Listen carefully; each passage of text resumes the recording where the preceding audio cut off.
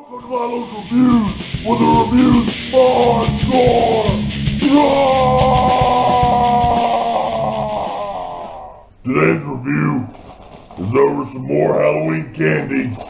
I actually got this big bag of Kit Kat Halloween candy, and uh, inside it has three different types of Kit Kats. The first one is a regular Kit Kat.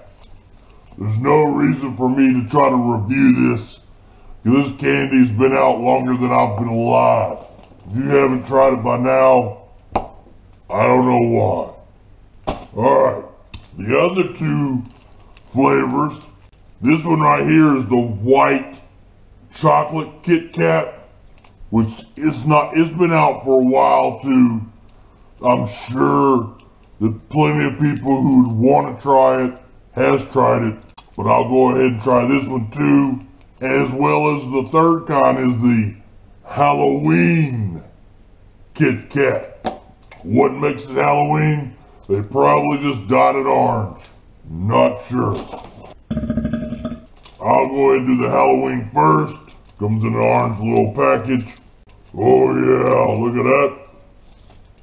Wow, that's really orange. Alright, here we go.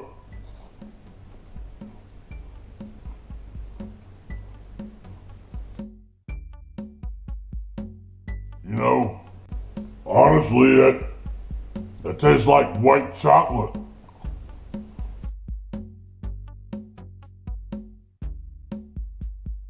Wow, it's pretty good. It's really sweet. Tastes like white chocolate.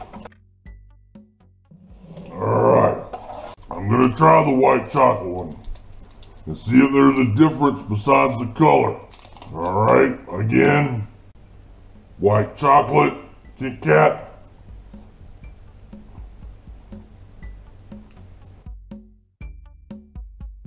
They taste the same.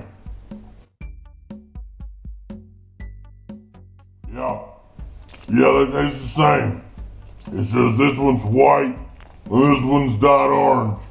But it's both of them have the white chocolate flavor, which is very sweet. If you're a fan of white chocolate and Kit Kats, then you can't really go wrong. I found this bag at Target. I'm sure if they're still around after Halloween, they'll probably go on sale. I really don't remember how much I paid for this bag. It's got 46 Kit Kats in there. Of course, it's got the original Kit Kat, the Halloween, the white chocolate. So, uh, yeah, it's not bad. Really sweet, really intense. Anyway, that's it for today.